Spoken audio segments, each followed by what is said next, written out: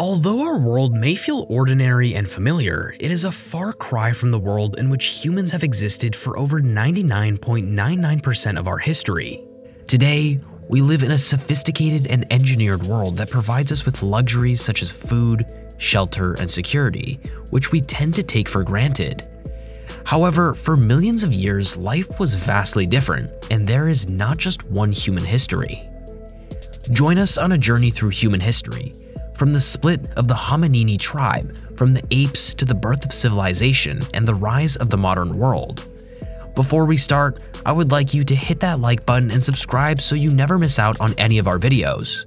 And if you are interested in a particular part of this video, make sure to look at the timestamps down in the description. Our story begins with the split of the Hominini tribe from the apes 6 million years ago, followed by the emergence of the genus Homo, the first humans 2.8 million years ago. While we tend to view ourselves as the only humans, this is not true.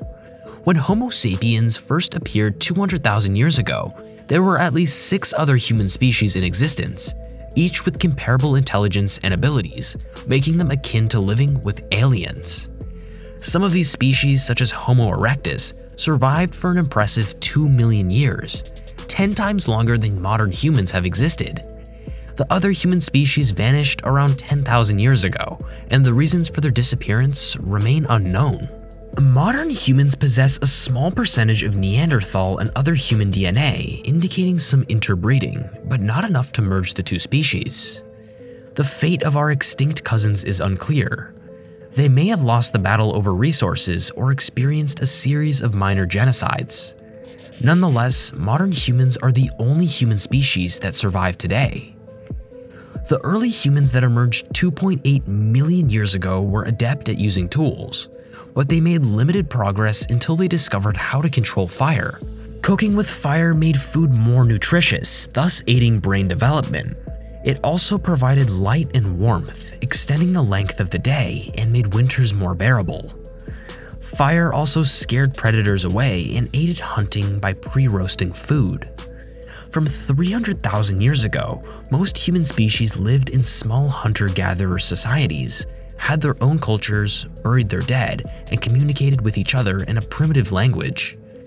If it were possible to bring a few ancient human babies to the present day, it is unclear how different they would be from modern humans, and there is much debate on this topic. Modern humans with their current anatomical features emerged from 200,000 years ago. However, it is believed that behaviorally, modern humans did not exist until around 70,000 years ago. Prior to this, infants would not have had the necessary gene mutations required to develop a brain capable of modern language and abstract thinking. About 50,000 years ago, there was a sudden surge in innovation, with tools and weapons becoming more advanced and culture becoming more complex. This was made possible by the development of a multi-purpose brain and more advanced language, which allowed for effective communication and closer cooperation among humans. It is this ability to cooperate flexibly in large groups that sets us apart from other creatures on Earth. With the evolution of our brain, we became capable of expanding knowledge quickly, preserving knowledge gained over generations, and building on past knowledge for even deeper insights. Prior to this, information was mainly passed down from generation to generation through genetics, which was not an efficient method. However, despite these advancements, human life remained relatively unchanged for the next 40,000 years. Our ancestors had limited resources to draw from, as they were just one species among many. It would be difficult to construct a tall building without first knowing how to build a basic house, and it is important to avoid arrogance when considering the capabilities of our ancestors. Humans who lived 50,000 years ago were experts in survival, possessing a detailed mental map of their territory and finely tuned senses. They possessed extensive knowledge about the plants and animals in their environment, and were skilled in making intricate tools that required years of practice and exceptional motor skills. Their physically demanding daily routines resulted in bodies that could rival those of modern day athletes, and they enjoyed a rich social life within their tribe. Surviving in such a challenging environment demanded a broad range of skills, and while modern humans collectively have more knowledge today, our ancestors were superior to us as individuals. Things rapidly changed around 12,000 years ago. Humans independently developed agriculture in multiple locations. Before, survival relied on individual physical and mental abilities in all areas. However, with agriculture, people could depend on the skills of others for survival, which allowed for specialization in certain fields. People began to focus on improving tools, breeding crops and livestock, and inventing new things. This eventually led to the birth of civilization as farming became more efficient. Agriculture also provided a reliable food source that allowed people to hoard food on a large scale, which was easier to do with grains than with meat. This led to the need for protection and tighter communities, and the need for organization grew. As humans became more organized, things became more efficient, and villages grew into cities, which became kingdoms and eventually empires. This increased connectivity between humans led to opportunities for exchanging knowledge, which led to exponential progress. Around 500 years ago, the scientific revolution began, which transformed our understanding of mathematics, physics, astronomy, biology, and chemistry.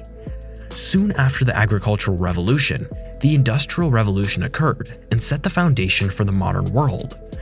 This led to exponential growth in efficiency, which allowed more people to contribute to human progress over their lifetimes. The invention and evolution of computers, as well as the rise of the internet, have had a significant impact on our world, and it's hard to comprehend how quickly these changes have occurred.